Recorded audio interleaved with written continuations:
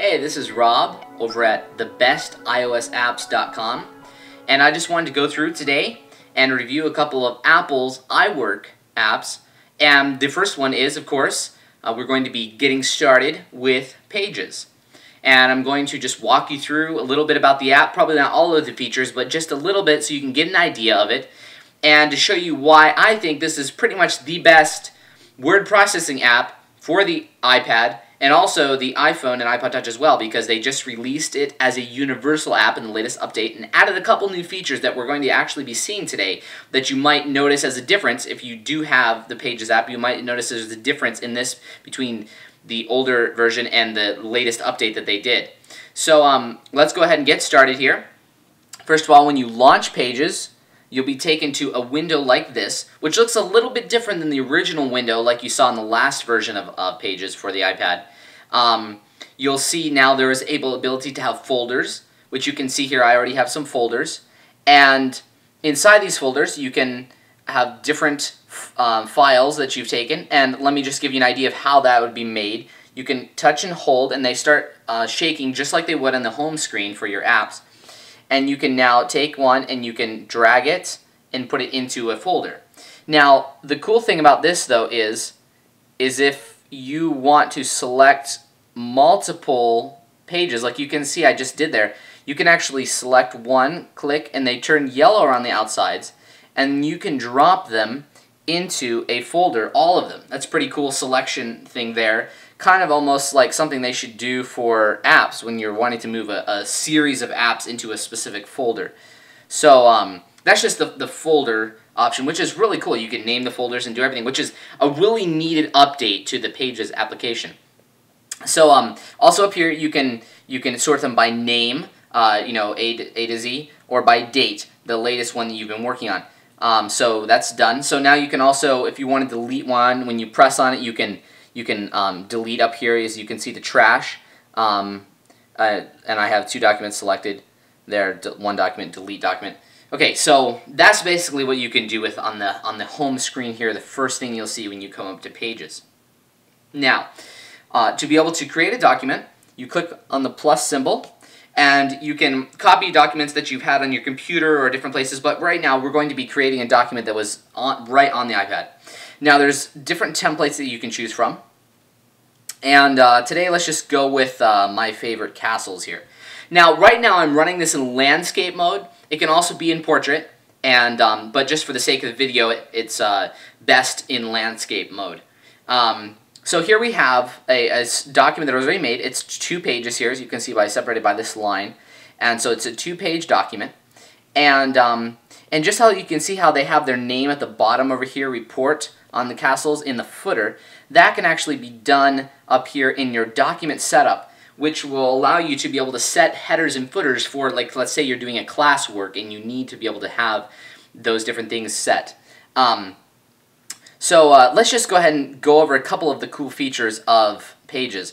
Now, uh, just to edit, you just click in, and um, you can select like a whole entire area of text or something like that by, uh, like if I wanted to select this whole entire area, um, I can copy and different things like that. I can just get rid of it. Uh, I can type something else. Let, us just change all of this to um, best uh, iOS, and it, see it automatically corrects for you, apps. And um, I can even go in and I can see, um, I can, I can click on this, I can say select, and I can say more, and it'll give me even a definition of, of the word, um, which at this time with the keyboard up, it's a little bit, uh, that was, must be a little bit of a bug there. Um, so, so you can do that as a definition. This is a dictionary built right in, which you also probably would see if you have iBooks. Um, that's kind of from over there. I wish they would actually do that as a universal thing throughout all the apps on the on the iPad, but it's not there yet. Um, okay, so if you're taking pictures, you, you can put pictures right into your into your document here. And you can uh, turn them by just selecting them with your two fingers. And um, change the size of them by just going bigger and smaller on the edge. It's pretty cool. Um, now if I want to change this picture, since, since we set up here best iOS apps, I can click on this and I can go to my camera roll and I can import a uh, picture and it just pops it right in and I let's let's pop in a couple so we can make it look like exactly like we want it to with all the different apps. And um, so here we have a couple different cool things. Now if I want to edit the mask for this, I double click on it and now I can like move this around inside that or if I want to change it so that the whole entire thing is inside my my uh, frame, I can do that by just moving all of this around here with the little blue edges. It's pretty cool that you can do that. Um, then you push mask, and now we have the picture set. And um, if I want to move this up or just click on it, move it around. So it, it's really easy to use. And in a lot of cases, it's actually better and easier to use than a word processing program on your computer because it's just so much more interactive with the touchscreen display. I really like that about this, this program. So uh, let's show you how you would actually, if I wanted to import an image, let's say I wanted to have these down here at the bottom, and I wanted to have them a little bit smaller, and I want to have like a, an image at the top that would uh, kind of be like the full, like this full width here, right? Uh, let's go ahead and get rid of this. Um, so let's go up here, and we're going to go to Media, Camera Roll, and we're going to import this image here. Okay, so now we see that it is imported itself, and um, it has uh, uh, it's this little border around it, right?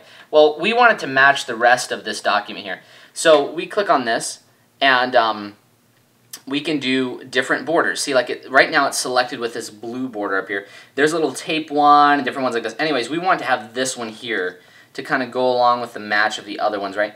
And um, so, and, and, we can even, we can uh, change different things. Like uh, this is going to allow us to flip this picture, like upside down, flip it horizontally, um, edit the mask, the wrap here is for text. You know, if you wanted your text to be automatically wrapped around it and different things like that, or just stop and be above and below it, uh, you can change that and move your space between your picture that will set the space for your text.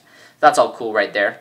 Um, and uh, like I said, style. And then in the style, you can actually edit this style, make your border around, if you want to have a really thin border or a really thick border. Um, you can change, you could have little line borders and like something like that. We, let's make it really thick. Uh, see, that's kind of like the, the original one they had on there, which they actually put on there themselves, like a blue border that was like that. Um, and uh, you can you can put a little shadow on it, so you can even have the border plus the shadow, which is pretty cool. And you can have it in different areas. It gives you like four different options up here. You can have reflection on it, which we could. It actually doesn't look good with the border, so let's turn the border off and just have a cool reflection to even take off the shadow. So now you have this really cool reflection going on here uh, kind of like you see on the Apple's website, right? Which looks like they already have a reflection on this image in the first place. But anyways, that's really cool that you can do that. So uh, now I'm just like, yeah, you know, I really forget that. I don't want that picture. You just click on it, push delete. Um, so we have now our little document here, uh, which let, let's let's go ahead and turn off that uh, text wrap that we have here because I, I don't want it to uh, push my text away when I get that close. See, so now, now it gives me a little bit more space here. So now I have best iOS apps, I have this cool little pictures and everything. Now let's say I want to take this and I want to share it. Uh, you know, I, I want to send it to my friend, uh, PDF document, page or something. So, um, um, oh, and by the way, that's full screen if you want to be able to edit this without having the little bar at the top. Um, so now I say share and print, right? Now from this place I can do many different things. I can email the document, I can print it, I can share via iWork.com, which is, I'm not sure if many people use it. It's still considered a beta version right now, but I really hope that they start doing that more because people, you, you can share, um, you know, keynotes, you can share um, different things across with different people, different users all over anywhere on the internet, um, which is really cool. So I can email this document right now, and it says to me, what do I want to do? Do I want to save it as a Pages, a PDF, or a Word? It's really nice because uh, with Pages, you can email it back to yourself um, instead of actually having to do it through your whole iTunes thing. You can email it to yourself. You can edit it on Pages on your computer. Or if you have a PC and you're running Windows, you can uh, edit it and save it as a Word document or as a PDF, which is pretty much openable on um, any computer that we see uh, out there. And really nice because, I mean, in that case, you won't be able to edit it, but it, it is really nice to be able to do. So we're just going to, let's just say I'm going to export as a PDF bam, it just has me, I can send it right from anywhere, from right from my iPad to one of my friends. Um, so that's just built right in there, really nice. Uh, okay, so now let's just go ahead and just go over some of these features up here. Uh, we have our, we can change our font, which we can just, let's say I want to select this whole entire area here. Oops, not all that. Um, so just select this text. I want to change the font. Okay, so I want it to be Academy engraved. Um, and then you can even you can even select it and um, have it be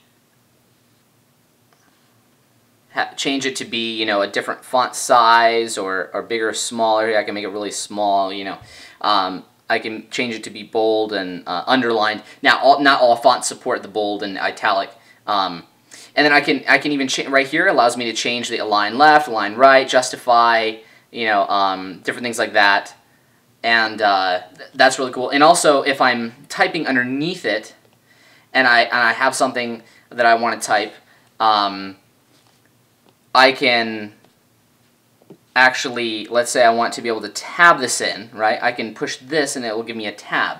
Okay, so if you want to indent something, uh, small like that, you can actually tab it in like with this little tool here. So, it, and also you have column breaks and, and page breaks and all that. So you could actually make a page breaker there and go to your you know third page and fourth page. So um, basically you can do pretty much anything on here that you would do on a normal uh, word editing program on your computer, uh, like Microsoft Word or anything.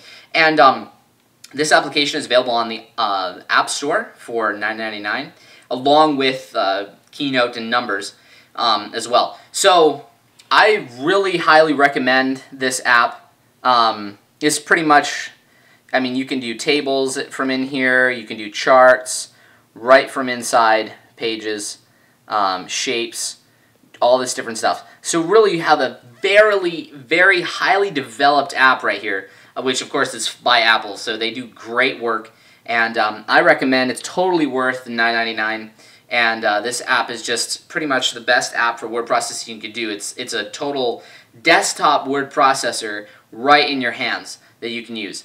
So uh, that's it for this review. And uh, if you have any questions or, or comments, uh, feel, feel free to ask.